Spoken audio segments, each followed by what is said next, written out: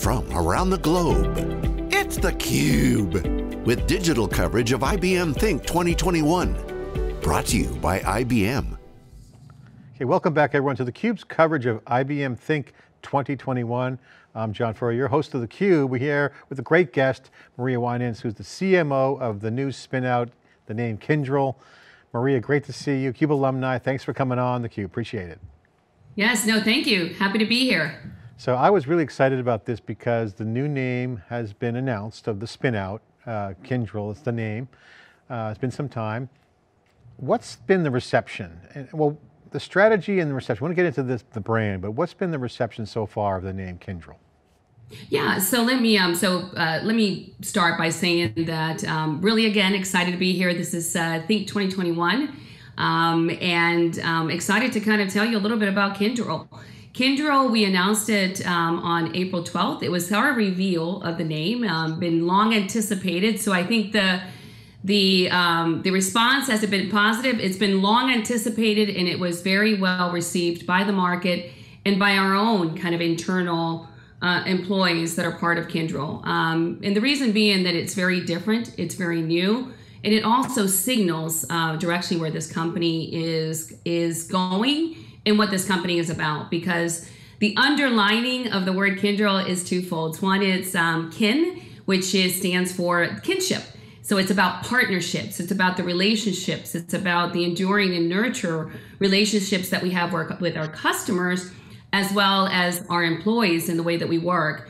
And drill is from tendril. Tendril is about growth. It's about new growth. It's about continuous growth. So it's the growth that we want to set this company for, but more importantly, the growth around, you know, in conjunction with our customers. So kinship, tendril, Kyndryl. And at the heart of our company, it's all about the people and the relationships with our customers. Wow, that's awesome. Well, thanks for giving some insight into the name. I was going to ask that question, but you nailed it. So I like this because the theme here at Think this year, and this is an industry theme, but it's really right. prominent how you guys are executing with the whole IBM, Red Hat, and the whole system coming together with hybrid cloud is the word ecosystem is, has kind of this new meaning and this vibe of working together in a network effect, creating integrations. So it's like up and down the stack, whether it's technical or personal relationships or business relationships, there's a communal effect here, whether it's APIs integrating together right. or relationships. So I love the name. What was the process? I'm always curious, like how long does it take? I'm sure it's like yeah, no, no, no. It's a great question, because it's not like it's not like we like naming anything, right? It's not like naming your dog, like somebody says. It's uh, the corporate naming process is very rigorous. Um, it has been a journey for us, like any other corporate business that's naming, you know, their their strategy, their brand strategy.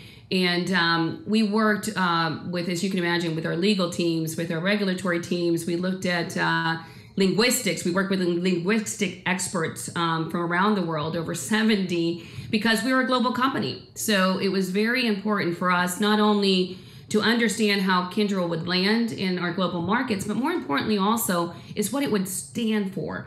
And so we did a lot of interviews with our employees. We did interviews with obviously with the with our customers and prospects. We looked at trends. We looked at our competitors. We did market research and what, you know, and within that, we wanted to land on something that really was at the heart of what this company was about.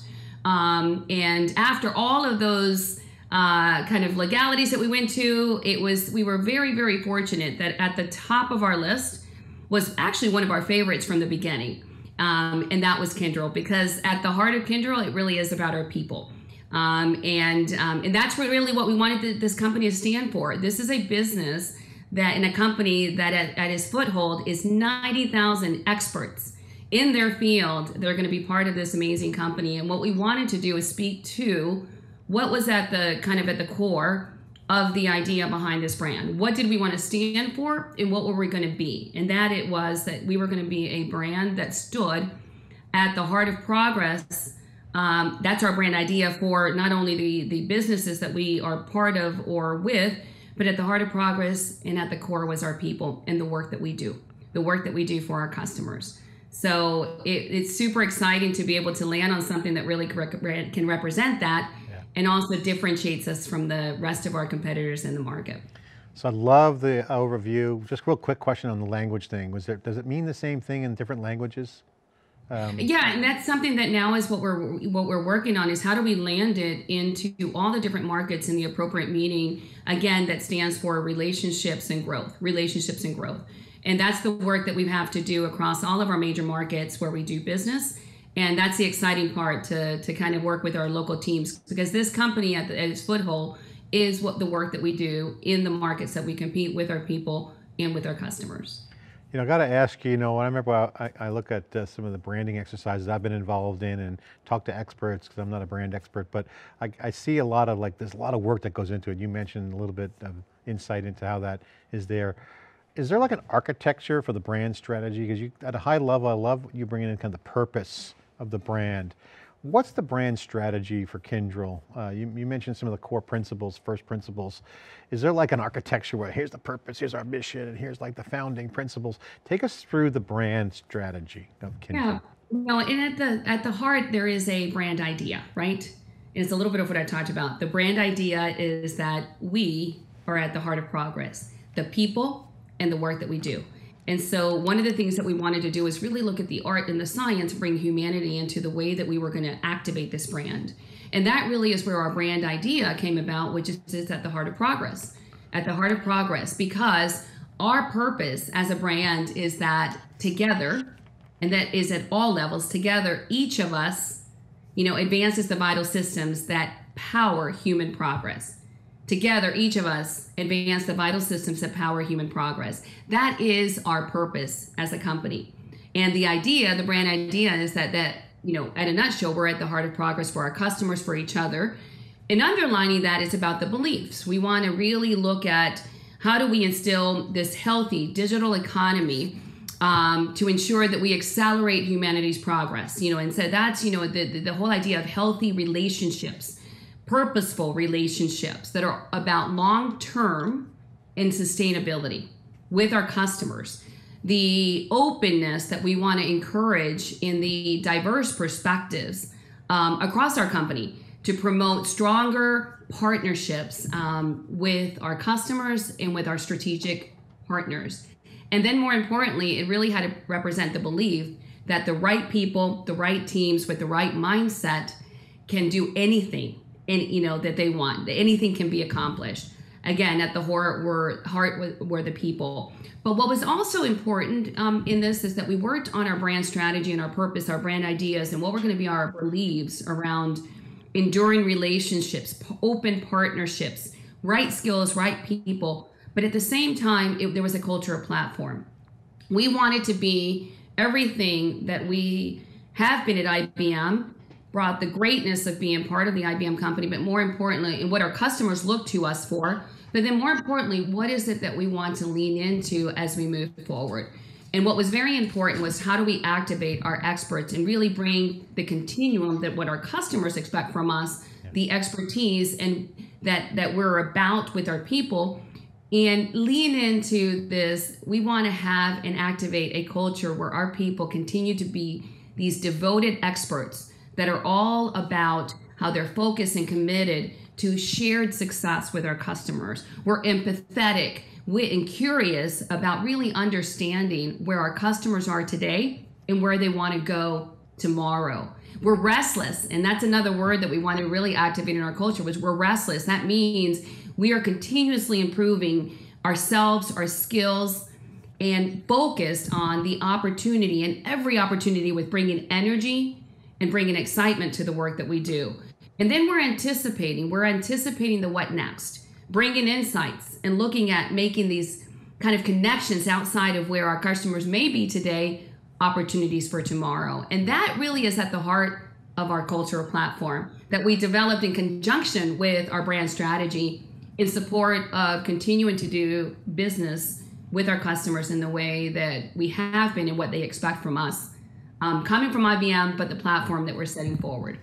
That's a great uh, masterclass gem you dropped there in terms of brand architecture and vision, great culture.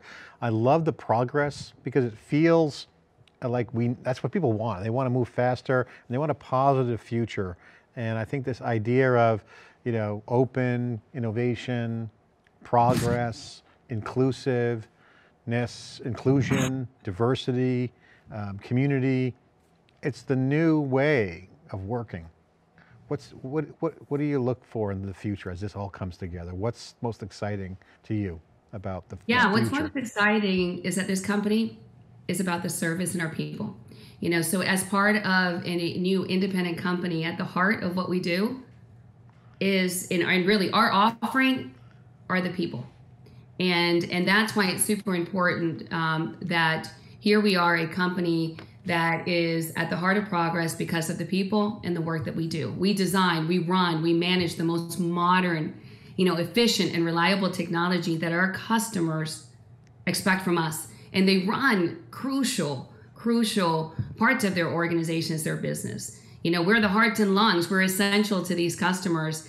And that's the opportunity ahead is how do we continue to build those enduring relationships? And, and more importantly, what excites me as CMO for this brand is at the heart of what I get to do is really our brand is our people. Yep. And how do we best show up every single day? And how do we build a culture? Because building a culture is how you show up for each other, how you show up for your customers, and how do you continuously improve and and lean on each other in the way that we kind of have set ourselves forward. So that to me is exciting to really work at the heart of progress because of the people and then the work that we do for our customers. That's super exciting. I love that cultural vibe because what that is, is that's the future. And now as people are connected, whether they're go back to hybrid office or remote, the working together progress creates bonds of creation, this co-creation, something that we love here at theCUBE. We love working with you guys, co-creating content together.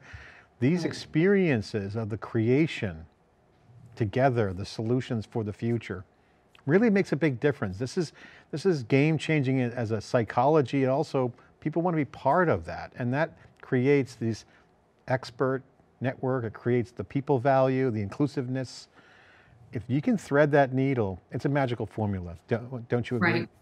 No, totally agree. And it creates um, belief.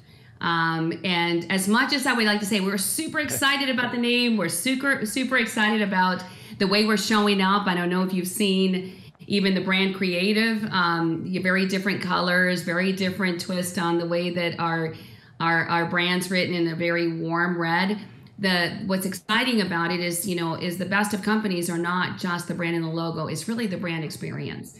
Um, and that is the way that we need to show up with our best of service with the customer you know interactions that are best in class and a culture platform that really you know provides that experience and shows up as a company that Kyndryl has the opportunity to be and grow to be Maria Winans, CMO Kyndryl, great to talk to you. What a great career you've having. What a run. You're on a great wave here with a great brand, great brand promise. Love the progress, love the culture, love the name. Congratulations. Thanks for coming on theCUBE. No, thank you. And thank you for having me here. Appreciate it. Okay, this is IBM Think 2021 CUBE coverage. I'm John Furrier, your host. Thanks for watching.